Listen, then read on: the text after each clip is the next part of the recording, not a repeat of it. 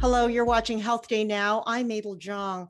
The American Society of Clinical Oncology, ASCO, has concluded its annual meeting.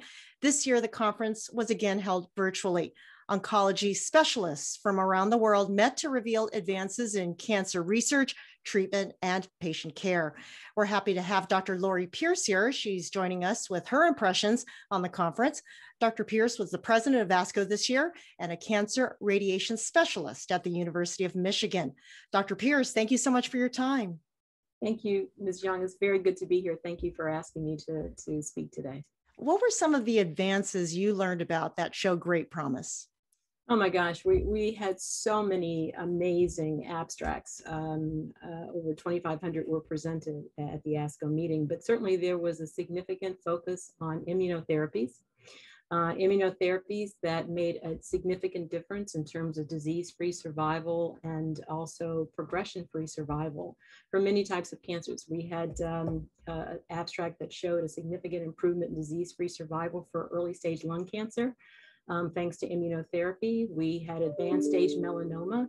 Um, for those who had patients who were untreated, had unresectable or metastatic melanoma, we compared in the randomized trial using one immunotherapy versus two. So the standard was nivolumab, that was the one therapy versus nivolumab and adding relatlimab, which mm-hmm. has the ability to be able to block two different pathways, two different immune pathways and that showed a significant benefit in progression-free survival.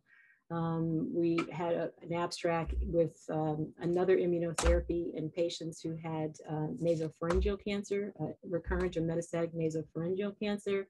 Um, another abstract for disease-free survival in patients who had resected kidney cancer, hmm. uh, for which uh, there's never been a trial before showing improvement, significant improvements with uh, immunotherapy um, also advanced esophageal cancer. So we had a, a range of uh, randomized trials showing significant um, benefits from immunotherapy for both early stage and advanced stage disease. And, and um, you know, it's interesting that uh, some people say, oh, it's just immunotherapy. Oh my gosh, it's mm-hmm. immunotherapy. You know, this is a major advance um, that we have found that uh, these drugs can reinvigorate our immune system. The cancer cells had found ways to really shut down our immune system, and these drugs um, release the immune system to be able to be very effective against cancer cells. So it's a it's a very exciting time, and yeah. there's a lot of focus on immunotherapy. So that was one area. Um, please share how equity in cancer care was an overriding theme across this year's meeting.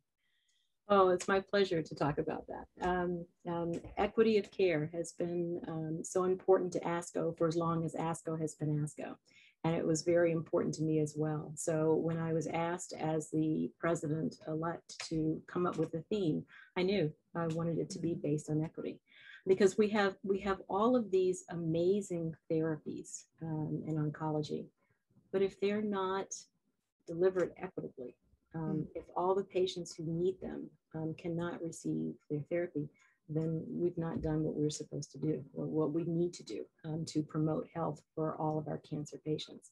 And so at this year's meeting, not only was the theme equity every patient, every day, everywhere, but we we wove equity throughout the meeting.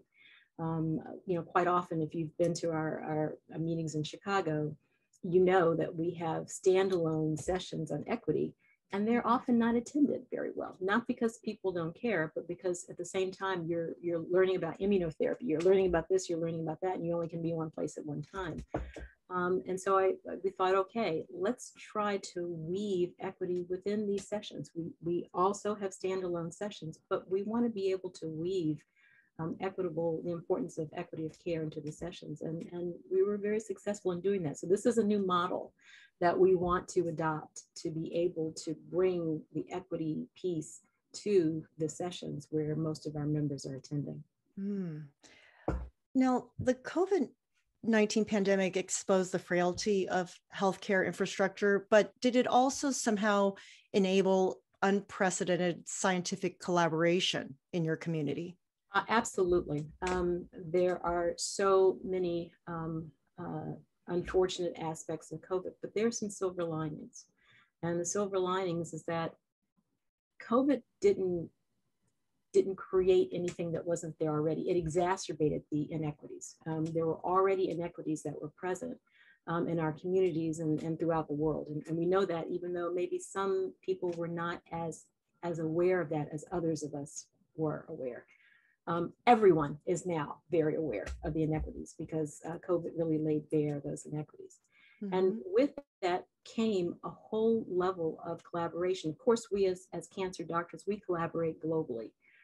But here we had cancer doctors, we had infectious disease doctors, we had school of public, we had public health, we had a global community coming together to fight this uh, pandemic.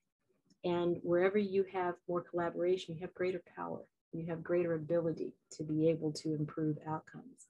Mm-hmm. Um, and that was clearly the case with uh, with the pandemic and the way that, as you said, it brought communities and and um, uh, groups together that perhaps were not already freely collaborating. All right, Dr. Lori Pierce, we thank you so much for your time. It has been a pleasure. There's so much more. Uh, I would love to talk with you, but uh, thank you for the time. I really appreciate it. We've been speaking with Dr. Lori Pierce, outgoing president of ASCO. And thank you for watching HealthDay Now. I'm Mabel Zhang.